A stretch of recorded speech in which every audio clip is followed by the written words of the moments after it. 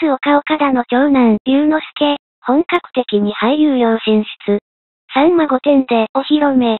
漫才コンビ、増田岡田の岡田圭介、48の長男で、タレント岡田結衣、17の兄、岡田優之介、19が、本格的に俳優用に進出することになった。このほど、橋本まなみ、32、松井樹里奈、20らが、所属する芸能事務所、アービング入り、存在感のある俳優になりたい、と、夢を描いている。龍之介は、元芸人でタレントの母親、ゆか、45が、写真をブログで掲載した際に精悍な顔立ちから話題になったイケメン兄。幼少期からモデルとして活動。日本テレビ。家政婦の見た。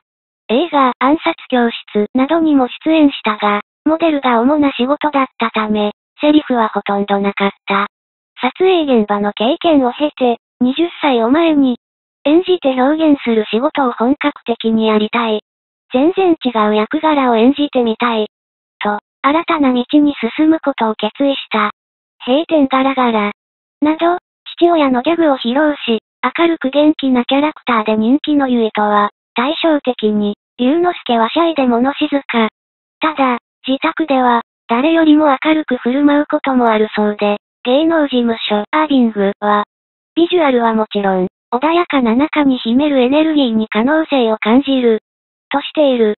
龍之介は早速、母ゆかと、1日に日本テレビ、踊るさんま御殿に登場。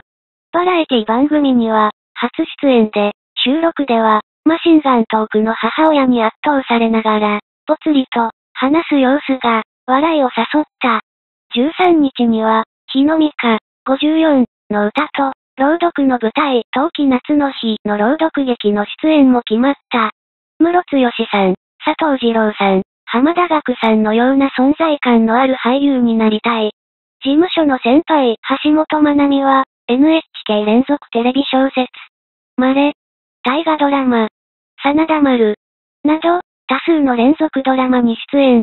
岡田は、いつか、七三分けのお兄さん役で朝ドラに登場したいです。と、目を輝かせた。